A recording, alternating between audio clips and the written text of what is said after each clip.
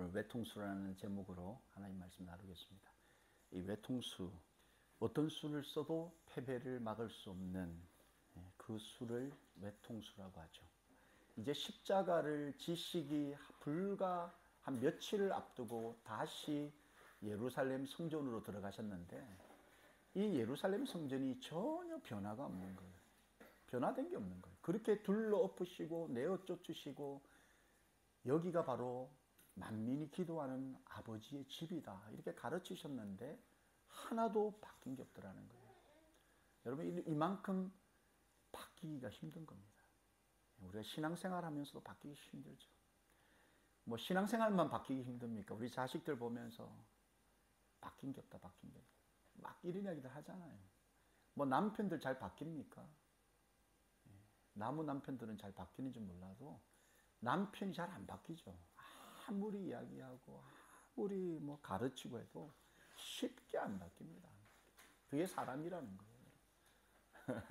웃는 분들은 동의하시는 줄로 믿고 제가 힘을 내서 이 남편들이 안 바뀝니다. 이 남자가 잘 안 바뀌는 존재들이에요. 그러니까 남자를 막 너무 기대는 하지 마시라는 거예요. 제가 드리는 말씀은.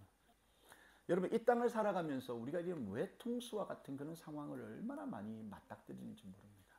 이거냐 저거냐 이걸 해도 힘들고 저걸 해도 힘들기가 매한 가지 그런 경우들이 얼마나 많은지 모릅니다.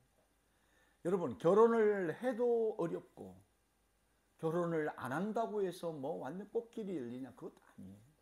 어느 대학을 선택하느냐 여러분 이 대학을 선택해도 어차피 공부하는 게 힘든 겁니다. 저 대학도 마찬가지고. 뭐 직장은 안 그렇겠습니까, 여러분? 이 직장 가면은 뭐 엄청나게 그냥 아무 어려움이 없냐 그런 거 아니지 않습니까? 우리가 이 땅을 살아가다 보면 이런 외통수에 걸리는 순간들이 얼마나 많은지 모릅니다. 신앙생활 하면 여러분 완전히 뭐 꽃길만 열립니까? 그렇지 않습니다. 신앙이 없는 분들한테 한번 여쭤보십시오. 신앙이 없어도 이 땅을 살기에 힘들고 어렵기는 매한 가지라는 겁니다. 이거냐 저거냐 다 외통수예요. 우리 삶이. 자 이런 외통수 인생과 신앙 사이에 항상 맞닥뜨릴 수 있는 이 외통수 외통수에 걸리지 않기 위해서 우리 어떻게 해야 되는가 또 우리가 외통수에 걸렸다 할지라도 그 외통수로부터 이겨나갈 수 있는 방법이 뭘까? 오늘 본문을 통해서 주시는 두 가지 영적인 교훈을 나누기 원합니다. 여러분, 인생과 하나님 사이, 인생과 신앙 사이에 존재하는 이 외통수에 걸리지 않기 위해서는 예수님을 만나야 되는데, 예수님을 알아야 되는데, 예수님을 제대로 만나고 제대로 알아야 한다는 거예요. 예수님을 제대로 알지 못하면 이 땅을 살아가면서 계속해서 이 외통수 사이에서 우리는 고민하고 갈등할 수밖에 없다라는 겁니다. 세상이냐 하나님이냐 이게 사단이 우리에게 늘 시험하고 우리에게 도전하는 외통수라는 겁니다. 말씀드린 것처럼 예수님께서는 성전을 둘러엎으신 다음에 다시 예루살렘으로 들어오셨을 때 사람들을 만나는데 누구를 만나셨느냐? 오늘 본문 27절을 보니까 그들이 예수님과 제자들이 다시 예루살렘에 들어가니라. 예수께서 성전에 거니실 때에 대제사장들과 서기관들과 장로들이 나왔다. 이렇게 기록하고 있습니다. 예수님을 만나기 위해서 예수님께 나아오는 것이 참 중요합니다. 참 중요한데 오늘 예수님께 나아왔던 이 대제사장들과 서기관들과 장로들은 좋은 뜻으로 예수님께 나온 게 아닙니다. 예수님을 잡기 위해서, 예수님을 밟기 위해서, 예수님을 죽이기 위해서 그에게 외통수를 던져서 꼼짝 달싹하지 못하게 하기 위해서 나왔다라는 거죠. 여러분 예수님께 나오는 것이 참 중요하긴 중요한데 예수님이 누구인가를 제대로 알고 나오는 것이 너무 중요해요. 여러분 우리가 주일날 교회에 이렇게 나오는 것참 귀하죠. 근데 나오기는 나오지만 예수님이 누군가를 알고 나오는 것이 더 중요하다는 겁니다. 이 대제사장들과 서기관들과 장로들은 율법을 연구하고 하나님께 제사하면서 또 오실 메시아를 정말 목이 빠져라 기다렸던 사람들입니다. 그런데 그의 눈앞에 실존하고 계신 메시아를 그들은 알지 못한 채 나왔다라는 겁니다. 나오긴 나왔는데 예수님이 하나님의 아들이신지 자신들이 그토록 고대하고 기다렸던 메시아인 줄도 모르고 깨닫지 못한 채 예수님께 나왔다라는 거예요. 예수님을 알지 못하니까 그들이 던진 외통수가 뭐였습니까? 이르되 무슨 권위로 이런 일을 하느냐? 누가 이런 일을 할 권위를 주었느냐? 여러분 여기에서 이 권위가 바로 이 사람들이 셋업해 두었던 외통수였다는 거예요. 이 권위는 두 가지 의미를 가지고 있는 겁니다. 첫 번째는 신적인 권위를 말하는 거예요. 당신이 성전에 들어와서 상을 다 둘러엎고 매매하는 사람들 다 내어 쫓고 분노한 그 권위를 누가 주었느냐? 하늘의 권위를 말하는 첫 번째 의미가 있었고 두 번째 의미는 하늘의 권위가 아니라면 인간의 권위를 누가 너에게 주었느냐? 누가 너에게 성전을 엎을 그 권능과 힘을 주었느냐? 이 두 가지 의미를 담고 예수에게 질문을 던졌던 겁니다. 예수님이 이 질문을 받으시고 하나님의 권위를 받아서 내가 왔다라고 하면 신성모독으로 잡을 생각이었고 내가 인간의 권위를 가지고 이런 일을 행했다 그러면 사내들인의 엄청난 파워로 예수를 잡을 그 생각을 그들은 미리 하고 예수께 나온 거죠. 그래서 여러분 예수를 향해서 도전장을 내밀고 꼼짝도 못할 거라고 생각하고 예수님을 이겨먹을 생각으로 자충수가 될 것을 깨닫지도 못한 채 외통수를 던져버리는 거죠. 이거냐 저거냐 이 외통수 앞에서 예수님이 뭐라고 답을 하시느냐. 본문 29절 말씀. 예수께서 이르시되 나도 한 말을 너희에게 물으니 대답하라. 그리하면 나도 무슨 권위로 이런 일을 하는지 이르리라. 이게 예수님이 이게 외통수라는 걸 알고 계셨어요. 그래서 예수님이 이제 그러면 나도 니네들에게 한 가지 질문하겠다 너희가 그 질문에 대답을 하면 나도 너희의 질문에 대답하겠다. 이렇게 이야기를 하는 거죠. 예수님이 지금 나도 무슨 권위로 이런 일을 하는지, 내가 누구인지 알려주겠다. 이렇게 대답을 하시는 거죠. 이미 이 땅에 오셔서 내가 누구인지, 내가 어떤 권위를 가지고 사역을 펼치고 있는지, 수도 없이 예수님은 당신을 말씀해 주셨습니다. 그들이 듣지 않았을 뿐입니다. 그들이 믿지 않았을 뿐입니다. 그들이 받아들이지 않았을 뿐이지 예수님은 수도 없이 말씀하시고 가르쳐 주셨습니다. 요한복음 7장 15절로 17절 말씀을 보시면 유대인들이 놀랍게 여겨 이르되 이 사람은 배우지 아니하였거늘 어떻게 그를 아느냐 하니 예수께서 대답하여 이르시되 내 교훈은 내 것이 아니요 나를 보내신 이의 것이니라 사람이 하나님의 뜻을 행하려 하면 이 교훈이 하나님께로부터 왔는지 내가 스스로 말함인지 알리라 예수님은 이미 수많은 사람들에게 내가 하나님께로부터 온 교훈을 말하고 가르치고 있다는 것을 말씀하셨습니다. 내가 가르치는 이 가르침은 내 것이 아니다. 나를 보내신 아버지의 것이다. 이걸 수차례 말씀하고 알려주셨습니다. 그렇기 때문에 유대인들이 놀랍게 여겼다라는 거예요. 왜? 예수가 목수의 아들, 평범하다 못해 교육을 받지 못한 사람인데 어떻게 저런 하늘의 것을 가르칠 수 있을까 놀랬다라는 거예요. 그리고 이미 놀라는 그들에게 나의 교훈은 바로 나를 보내신 하나님의 아버지의 것이다. 수차례 언급하셨습니다. 믿고 싶지 않았고, 여러분 받아들이고 싶지 않았고, 따르고 싶지 않았던 거지 몰랐던 사실이 아니라는 거예요. 그럼에도 불구하고 그들은 예수께 나와서 하늘의 권이냐 땅의 권이냐 이걸 놓고 대답하라 이렇게 질문을 하는 거죠. 여러분 우리가 이 땅을 살아가면서 하나님과 예수님을 제대로 알지 못하면 항상 이런 질문을 반복하게 되는 겁니다. 이게 하나님의 것인지, 하나님이 진심으로 살아있는 건지, 정말 하나님의 나라가 있는 건지 끊임없이 되묻게 되는 거예요.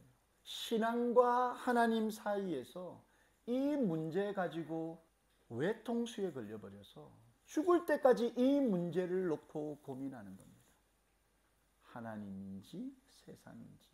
평생을 여러분 하나님께 도전하고 하나님께 따지고 하나님을 때로는 시험하면서 사는 외통수에 걸려버린 인생이 될 수 있다는 겁니다. 하나님을 제대로 알지 못하고 예수님을 제대로 알지 못할 때 이게 우리한테 자충수가 되어버릴 수가 있다는 거죠. 우리가 외통수, 자충수에 걸리지 않기 위해서는 하나님이 누구인지를 정확하게 알아야 한다는 거예요. 예수님이 나에게 누구인지를 모르면 평생 이 문제에서 헤어나오기가 쉽지 않다는 겁니다. 하나님을 만나시기 바랍니다. 여러분, 하나님을 경험하시기 바랍니다.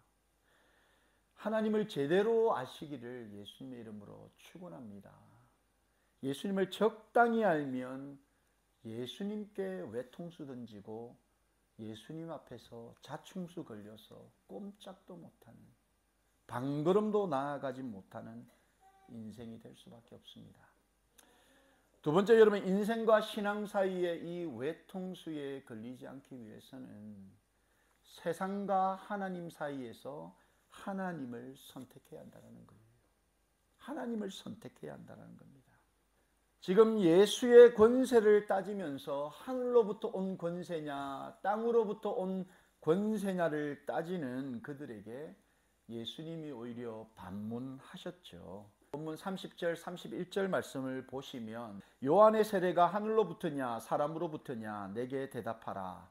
그들이 서로 의논하여 이르되 만일 하늘로부터라 하면 어찌하여 그를 믿지 아니하였느냐 할 것이니 지금 예수님이 하고 있는 일이 하나님의 권위로 하는 거냐 사람의 권위로 하는 거냐를 묻는 그들 앞에 나도 한 가지 질문을 하겠다.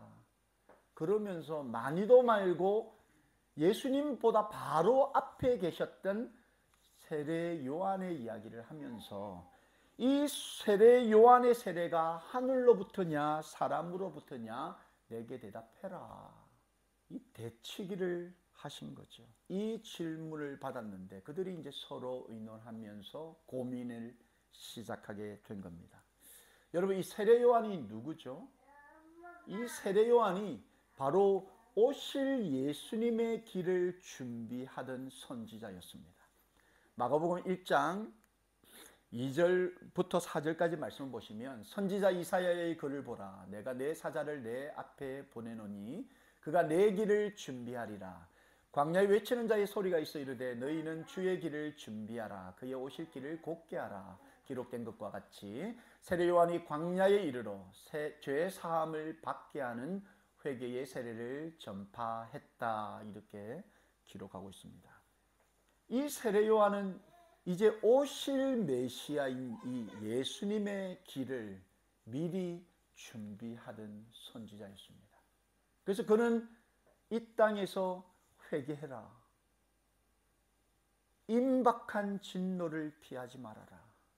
한마디로 말하면 회개하고 돌이켜라. 이 메시지를 전했다라는 거예요.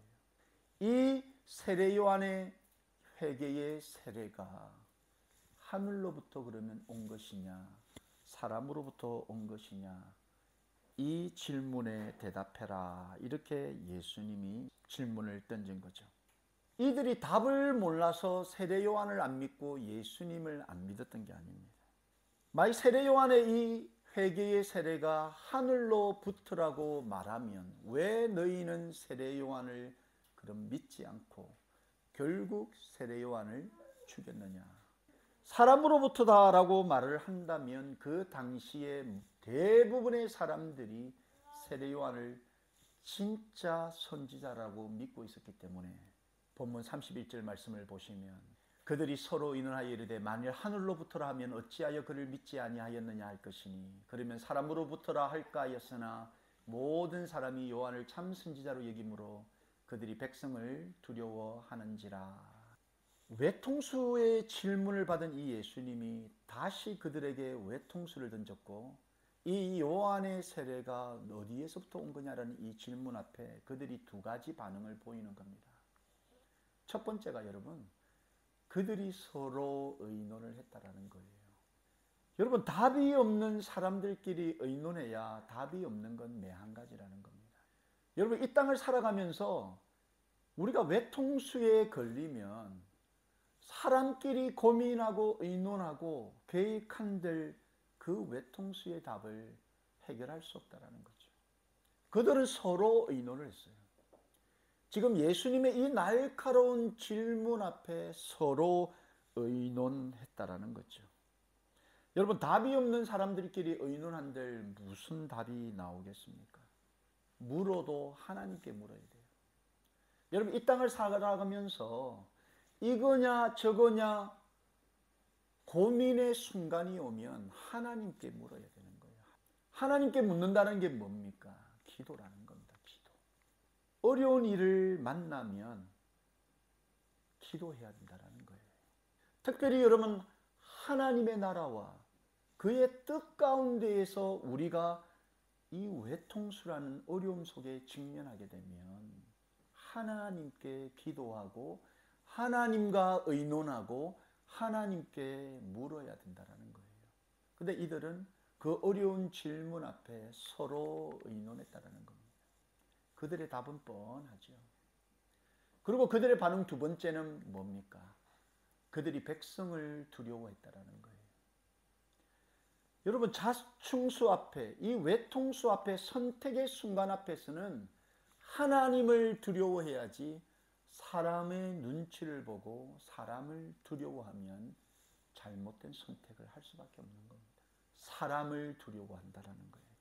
어렵고 힘든 상황 가운데 이 선택이 옳을까, 저 선택이 옳을까, 이 결정 앞에서는 우리는 하나님을 두려워하는 마음으로 하나님을 기쁘시게 하고 하나님을 만족시키는 길을 선택해야 되는데 그들은 사람을 두려워하고 사람의 눈치를 보고 사람의 길을 선택해 버린 거죠. 이게 외통수에 걸린 사람들의 전형적인 모습이라는 겁니다. 여러분 이 땅을 살아가면서 영원한 그 생명, 눈에 보이지 않는 그 하나님의 나라. 여러분 이 선택의 기로에서는 하나님과 의논해야 되고 하나님께 기도해야 되고 그리고 하나님을 두려워하는 마음으로 하나님이 주시는 그 지혜로 선택을 해야 된다라는 거죠. 33절에 이에 예수께 대답하여 이르되 우리가 알지 못하노라. 여러분 우리 자녀들을 키우면서 자녀들이 가장 답답할 때가 언제냐면 너 앞으로 뭐, 뭐 될래라고 물었을 때 I don't know. 요즘 아이들이 여러분 너 앞으로 꿈이 뭐냐 앞으로 뭐 할 거냐 비전이 뭐냐 물으면 너무나 많은 아이들이 I don't know 이렇게 이야기합니다. 이게 얼마나 답답한 건지 몰라요. 부모 입장에서. 여러분 삶과 죽음과 생명과 구원 사이에서 답이 없는 거다. 나는 오늘 죽어도 하나님의 자녀로 하나님의 나라에 갈 수 있다라는 그 대답을 할 수 있어야 되는데 이 대답을 못 하는 겁니다. 예수님의 질문 앞에 그들은 we don't know 모르겠다는 거예요. 여러분 이 땅을 살면서 답이 없는 인생이 되어서는 안 됩니다. 하나님 아버지가 우리를 보셨을 때 하나님이 계신 것 같기도 하고 하나님이 없는 것 같기도 하고 I don't know. 영원한 생명이 있는 것 같기도 하고 이 땅 살다 죽으면 끝나는 것 같기도 하고 I don't know. 이게 아버지 하나님이 보셨을 때 가장 답답하고 마음 아픈 답이라는 겁니다. 여러분 분명한 답을 가지고 사십시오. 삶과 죽음과 생명과 구원에 대한 분명한 답을 가지고 사십시오. 오늘 죽어도 여러분이 하나님의 자녀로서 하나님과 함께 영원히 살 수 있는 나라가 있음을 답할 수 있는 그 답을 가지고 사시기를 예수님의 이름으로 축원합니다. 이들의 대답은 우리가 알지 못한다라는 거예요. 그러자 그 대답을 하는 그들을 바라보시면서 본문 33절 예수께서 이르시되 나도 무슨 권위로 이런 일을 하는지 너희에게 이르지 아니하리라 하시니라. 나도 말하지 않겠다라는 거예요. 더 이상 말하고 싶지 않다라는 거죠. 예수님께 얼마나 당당하게 나와서 외통수를 던졌습니까? 그래서 예수 앞에 선 자신들이 얼마나 더 강하고 더 지혜롭고 더 힘있는 존재라는 것을 끊임없이 증명하고 도전하려는 그들. 그런데 결국 그들은 생명에 대한 답을 가지고 있지 않았다는 거예요. 곧 죽어도 예수는 인정 못하겠고 대답을 못하겠다 유보하는 거죠. 여러분 언제까지 예수님의 질문 앞에 대답을 유보하시면서 사시겠습니까? 여러분 이 땅을 살아가면서 이 대답이 확실하게 되려면 하나님을 선택해야 한다는 거예요. 하나님을 선택해야 한다는 거예요.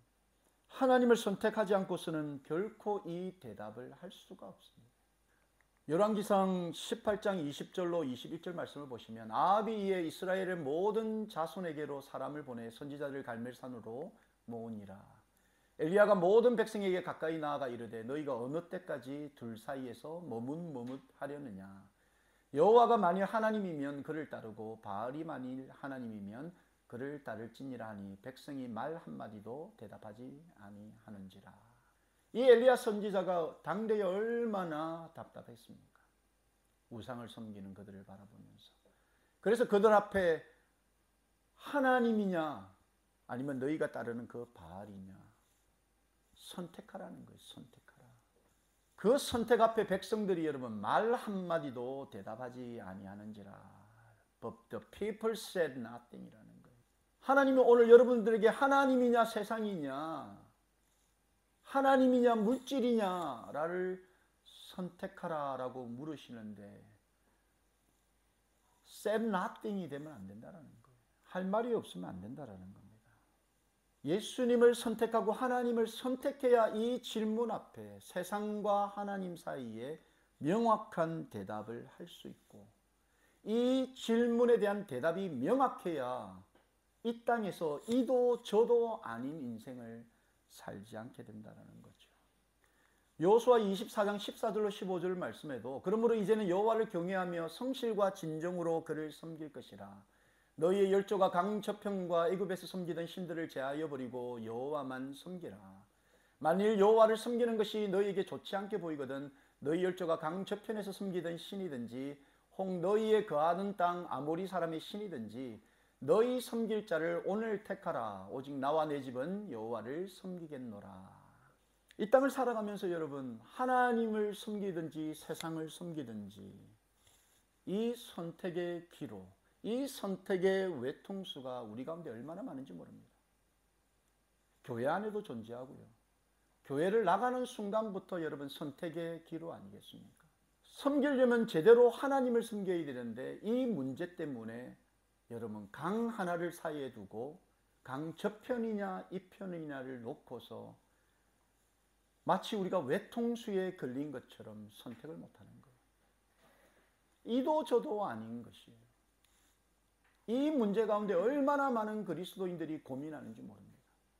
하나님을 선택하기만 하면 하나님과 함께 새로운 세상이 열리는데 하나님을 선택하기가 그렇게 힘들다는 거예요. 예수님께 당당하게 나왔던 그들이 여러분 예수님을 몰라서 예수님을 안 믿었겠습니까? 율법을 몰라서 안, 들, 안 믿었겠습니까? 어디 뭐 그런 전통을 몰라서 이들이 예수님을 선택하지 못했겠습니까? 아니라는 거예요. 선택은 빠르면 빠를수록 좋습니다. 선택은 빠르면 빠를수록 좋다는 거예요. 여러분 믿음을 부여잡고 하나님을 붙들면 놀라운 하나님을 경험하게 됩니다. 여러분이 하나님을 믿기로 결단하는 순간부터 하나님께서 여- 여러분을 인도하신다라는 거죠. 먼저 믿음의 결단을 한번 해보십시오. 믿음은 결코 그냥 생기는 게 아닙니다. 아무리 여러분이 하나님을 믿고 싶다, 믿고 싶다 말로만 한다 할지라도 진심으로 믿음의 결단을 하기 전에는 결코 보이지도 믿어지지도 않는 것이 하나님이라는 거죠. 여러분 믿기로 작정하고 하나님께 여러분의 인생을 맡기십시오. 믿음의 주요 온전케 하시는 그 하나님께 여러분의 인생을 한번 걸어 보십시오. 사단은 여러분 오늘도 여러분 안에 믿음이 생기지 않게 하기 위해 하나님을 선택하지 않게 하기 위해서 얼마나 열심으로 일하는지 모릅니다.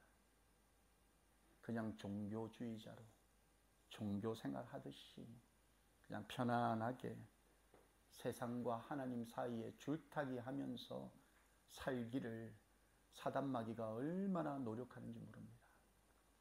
적어도 여러분 믿음이 생기기를 원한다면 이처럼 노력하고 있는 사단보다는 좀 더 열정을 가지고 좀 더 열심을 가지고 내 안에 하나님을 믿기로 결단하고 그 하나님을 향해서 온몸을 던지십시오. 말씀을 정리합니다. 여러분 우리는 하루를 살아도 하나님의 사람으로 이 땅을 살 수 있는 그런 은혜를 우리 모두에게 부어 주셨습니다. 그럼에도 불구하고 우리가 이 땅을 살아가면서 인생과 신앙 사이에 늘 선택의 기로에서 외통수에 걸린 사람 마냥 이도 저도 아닌 중간에서 고민하며 하나님을 섬기지도 못하고 그렇다고 온전히 세상을 따라가지도 못하는 그런 연약한 사람으로 머뭇 머뭇 거리면서 얼마나 많은 방황을 하고 있습니까? 이런 방황을 끝내기 위해서는 무엇보다 여러분 예수님을 만나야 합니다. 제대로 만나야 되죠. 그리고 예수님을 알아야 합니다. 여러분 예수님을 배우십시오. 예수님을 배우고 날마다 알아야 합니다. 그냥 귀로 듣던 예수가 아니에요. 평생 들어왔던 그 두꺼운 책 속에 존재하는 예수 말고 지금 현존하셔서 살아 역사하시는 그 예수님을 제대로 만나십시오. 그리고 현존하셔서 우리를 향하여서 끝없는 인내와 한량없는 그 은총으로 우리를 기다리시는 그 하나님을 선택하십시오. 그 하나님께서 여러분을 눈동자와 같이 지키시고 여러분의 인생을 책임져 주실 거라는 겁니다. 이 개런티된 그 약속과 약속 주신 그 하나님을 꼭 만나시고 그 하나님과 죽는 그 순간까지 동행하시게 되는 그런 복된 성도 되기를 예수님의 이름으로 축원합니다.